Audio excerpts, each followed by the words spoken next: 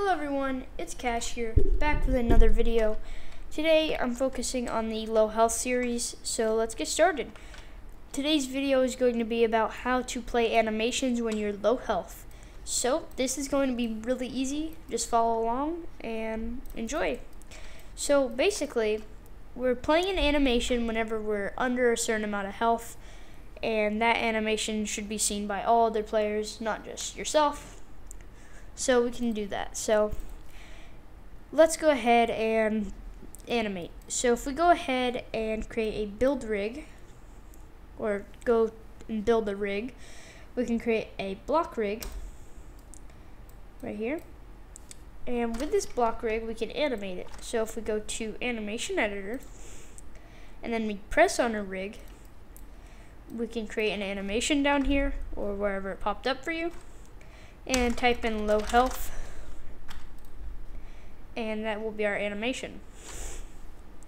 So my animation is going to be an action where the character is basically just like limping. So for for me to do that, I'm just going to set the animation priority to action so we can play it. And you should too. Then we're going to set it to looped. Alright. And then we're going to create a animation for it. So he's going to be like this.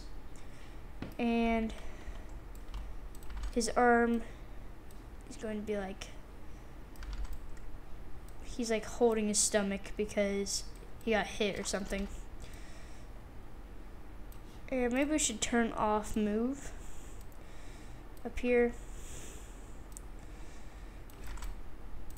We can have right here.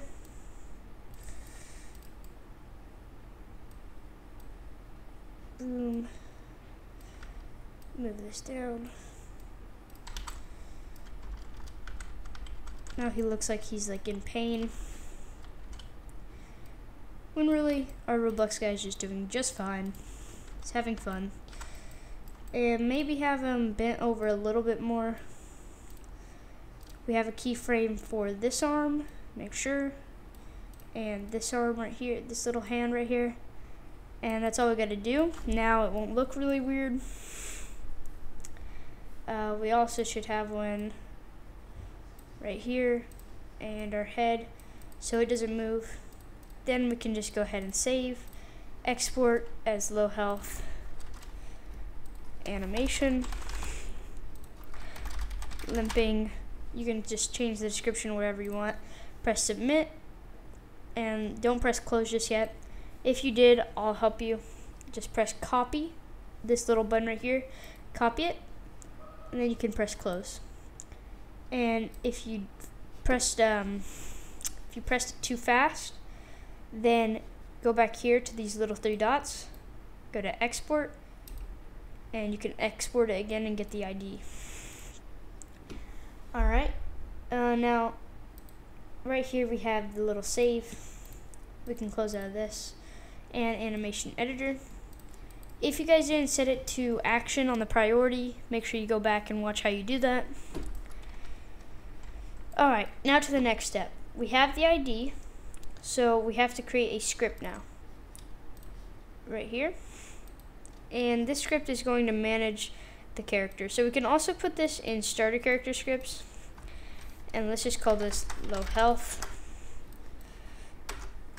And now we're going to do local character equals script.parent local animation equals this ID or local animation ID equals this.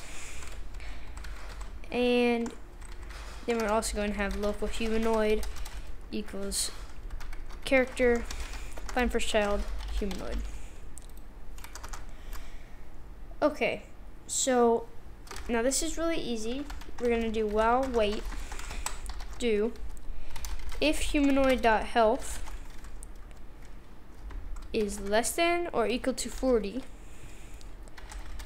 then we'll do the uh, animation. But first we have to do local animation or local loaded animation. equals humanoid load animation. And we'll have animation ID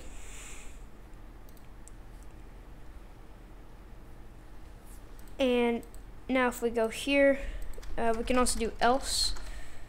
Load animation stop. And right here load animation play and now in theory that should work we might have a little error. But we also have this little part right here that damages us. The script for this is in the description. So let's just press play here and see if it works. Unable to cast value to object. So that's an issue. What we can do is actually create this as a string value and we can try that. Nope. Well that's just fine. We can go to replicate storage and create an animation. In the animation paste the ID in. Call this low health anim. And then we can just load the animation equals to game.replicate storage find first child low health anim and animation now let's try